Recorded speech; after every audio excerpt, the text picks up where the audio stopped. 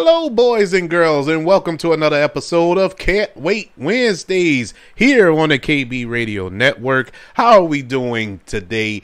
I hope everybody enjoyed their Halloween weekend. Now we're gearing up for Thanksgiving. Um, it's right around the corner. Time is moving fast, people. It's November.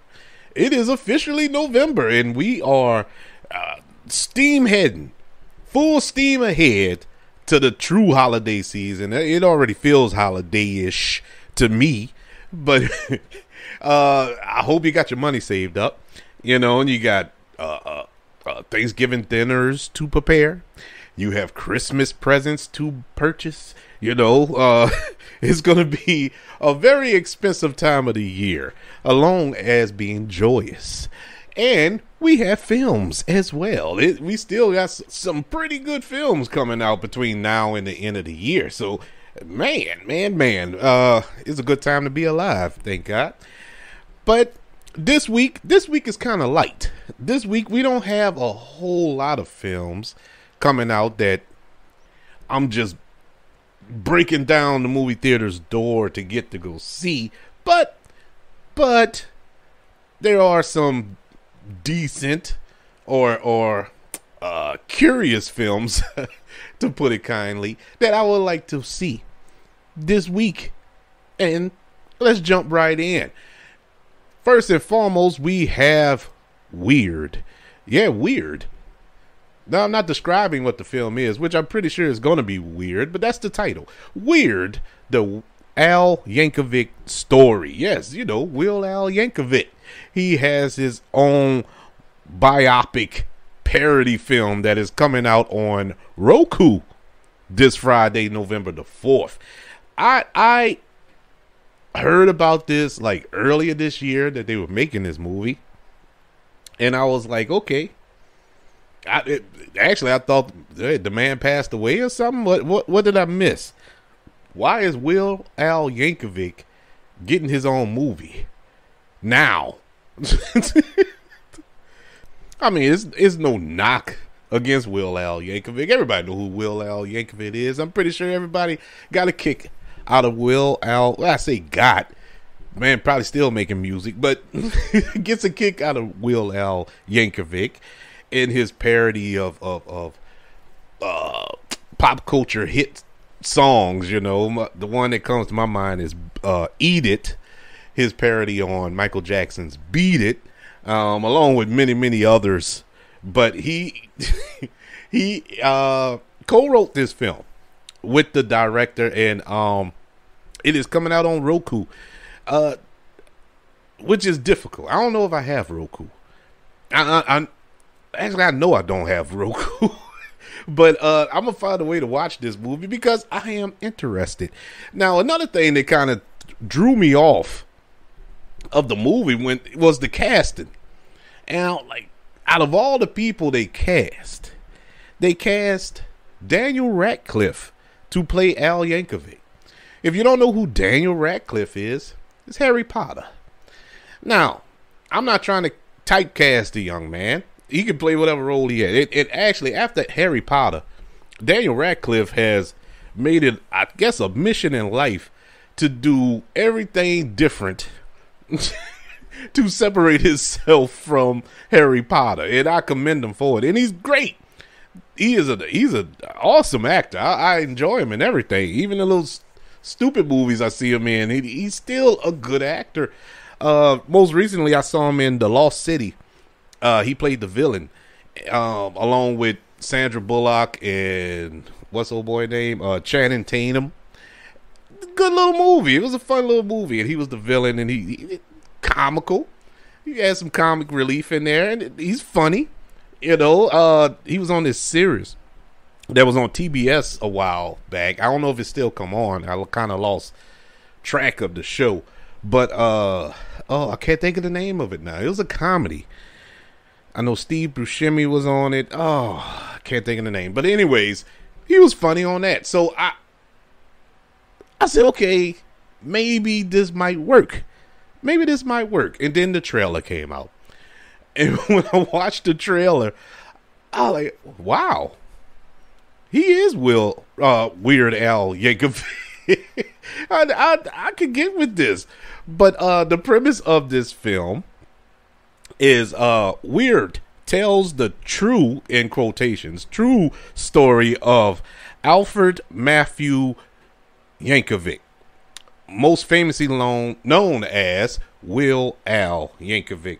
His beginning interest in the accordion, his discovery by Dr. Demento, his support from Madonna, and his overall claim to fame. A satire of a biopic, the film intentionally exaggerates and downright fabricates moments in Yankovic's life for comedic efforts. So you go into this, don't take this as scripture. Just take it as what it is.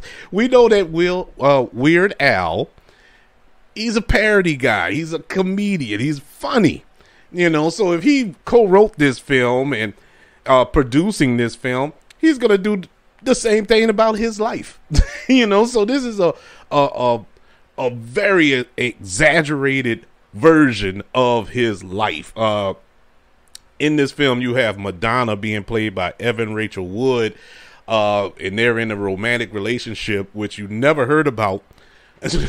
you never heard about, but they they are a couple in this movie, and I can only say that I, am assuming I'm a, I'm I'm just gonna assume that that's fabricated.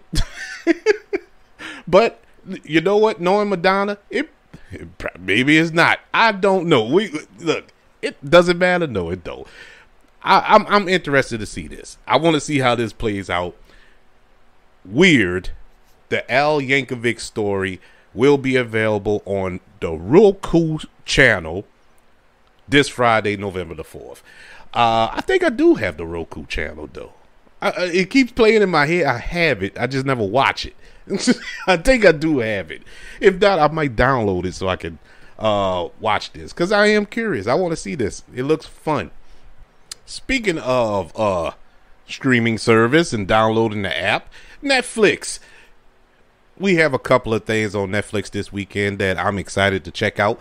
One of which is a television series uh, based on just my childhood, I guess you could say, in in some shape, form, or fashion. Blockbuster. Yeah, blockbuster uh, video when I was younger was the hangout for me. I didn't hang out in clubs, didn't hang out in bar rooms, but I hung out in blockbuster video. That was my spot to go. Uh, being as though I'm a movie nut, so I I just loved going to blockbuster video. Couldn't wait for Tuesdays when the new movies dropped and the whole back wall was the new movies, and you had the copies. Uh, you had to get there early because everybody go rent them. And if you get there too late, all the copies are gone. Now you're mad and all this.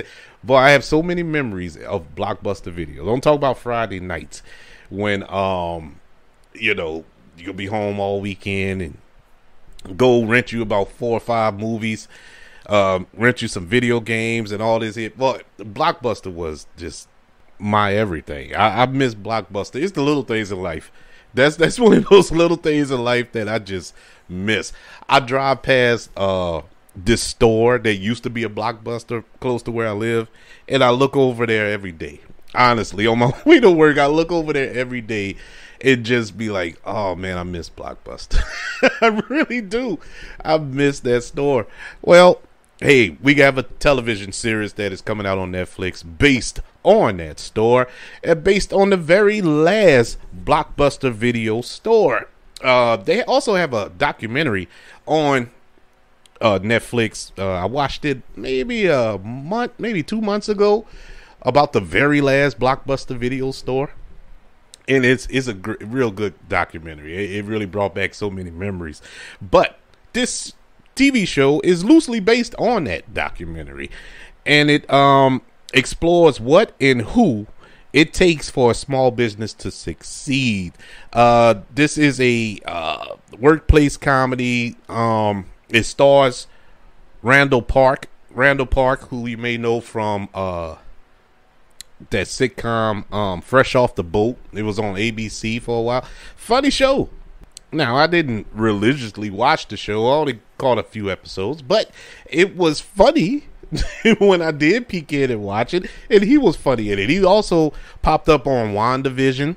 Uh, he played the same character from uh, the Ant Man movie that he was in as well. He, he's popped up in a few things, and he's been funny in most, if not all, the things I've I've seen him in. Uh, film also, uh, not the film, but the TV show also stars JB Smoove. JB Smoove has he's just a distinct character, bro. The dude, everything he pops up in, he just adds something to it. Just a little. He's seasoning to your to your bland uh, mashed potatoes or something. I don't know, but it, it, he's he's just that little flavor you need for your for your dinner. But he he is hilarious. I I. Uh, I didn't watch Curb Your Enthusiasm like a lot of people have. I did peep in on a couple episodes of it. I thought it was it was funny, but I, I didn't think it was the greatest comedy of all time. But you know, but he was funny in it, and he was on. Uh, he he provided one of the voices on Harley Quinn, you know, the animated show that's on HBO Max, and bro. just him him voicing this Venus flytrap on it. It is a he makes the show. He he makes the show. The show is good and funny within itself, but just him being in his voice being it just adds another layer, layer of comedy that I wasn't expecting from that show. And he does that Really, he's lending his voice or popping up in something. It he does that. That's why I'm excited for him popping up in this. Uh Blockbuster is a 10 episode series. All episodes are dropping this Thursday. Drops tomorrow on Netflix. November the 3rd. I cannot wait to sit down and watch that this weekend. Uh, this is right up my alley. Hopefully, it'll bring back some memories. Hopefully, uh, uh, it won't cause me to riot because I want to actually go to a blockbuster store it is impossible to do. I wish there was a way though. I wish a little side note. I wish there was a way they can bring back blockbuster videos. I, I really do. Even though videos is the thing of a past now. I mean, do do anybody even own a DVD player these days? I I have one, but I don't know where it is because we don't. Have, I have so many DVDs but they're all in storage because I don't watch them.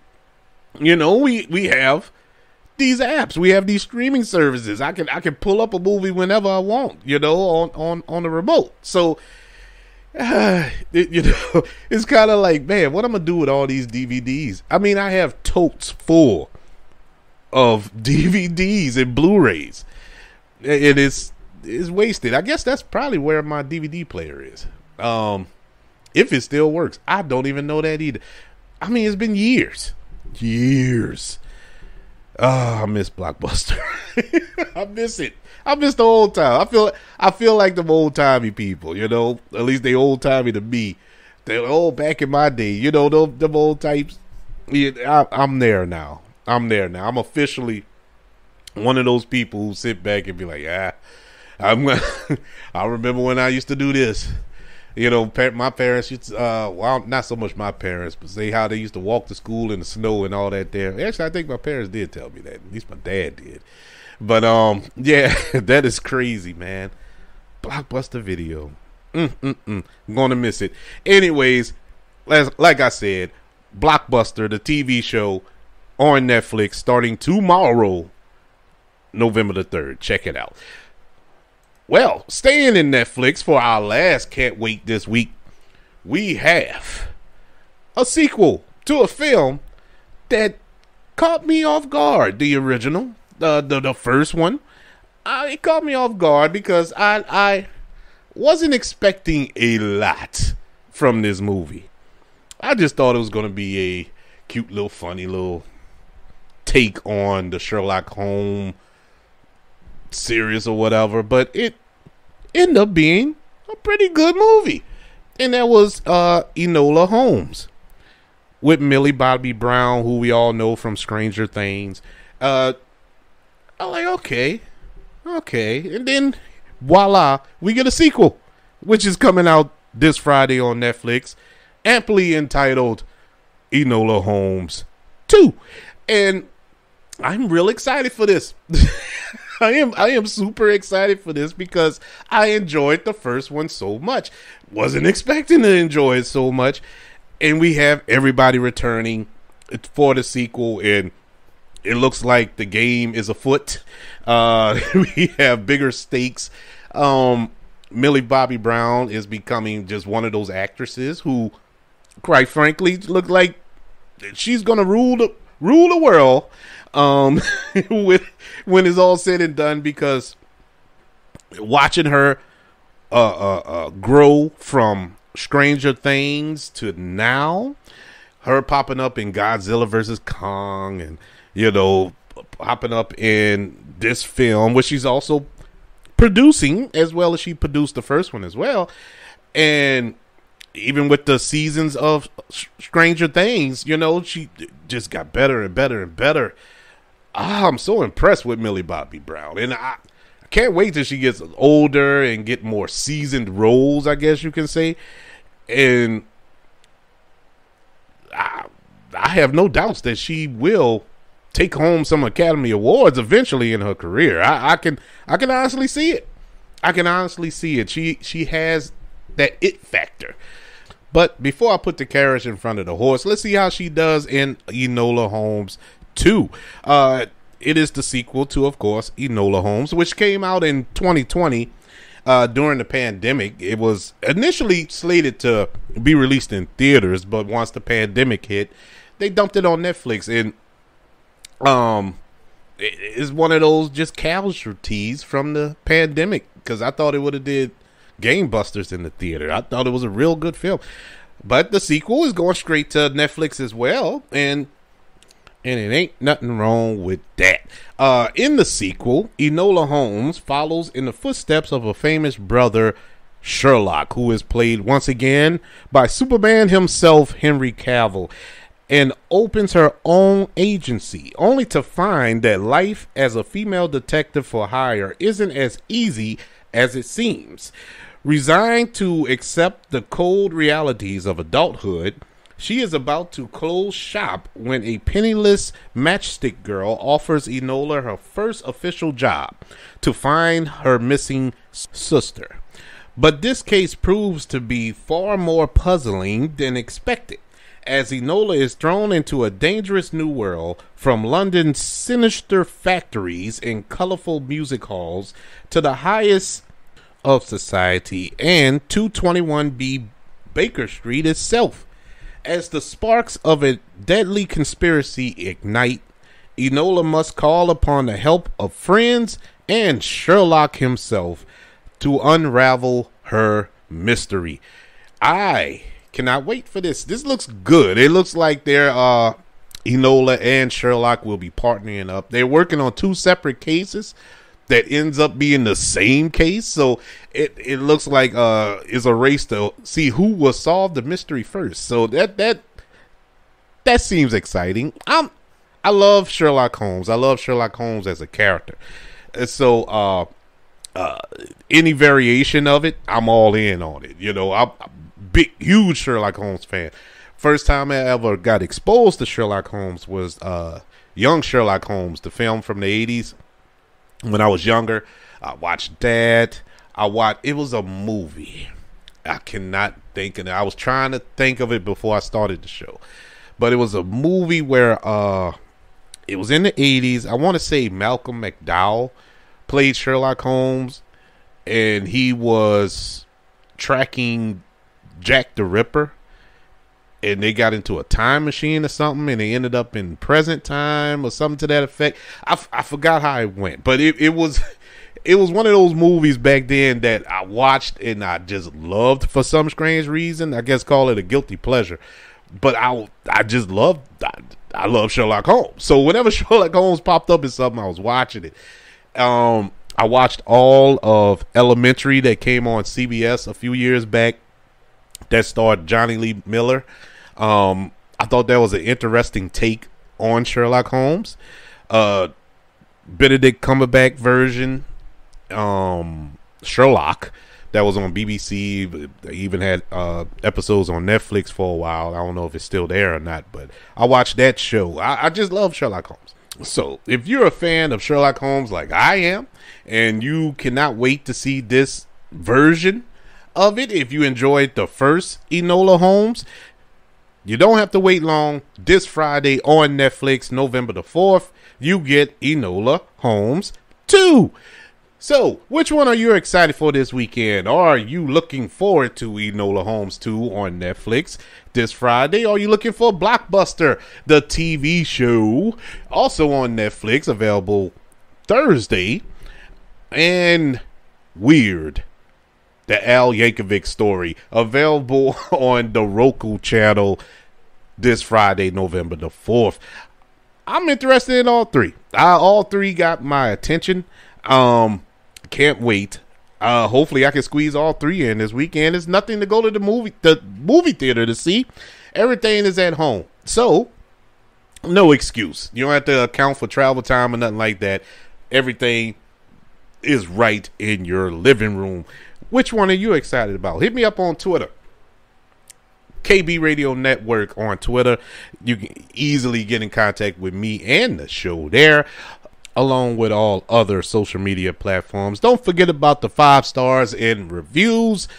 If you're listening on Apple Podcasts, I'll greatly appreciate it. Don't forget to share the show with all your friends and family. Let everybody know you're listening to Can't Wait Wednesdays here on the KB Radio Network. Everybody's been an honor, privilege, and joy to speak with you today. Can't wait for these projects to drop.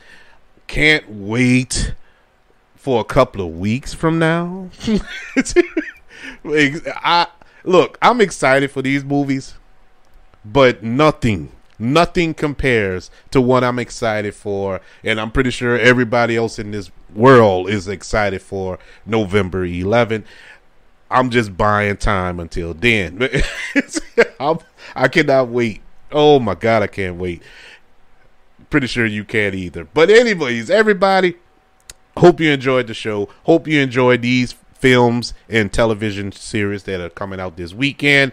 Can't wait to speak. Can't wait. Can't wait to speak to you again. Until then, I want you all to know I love you. Continue to love one another. And until we speak again, you all be blessed.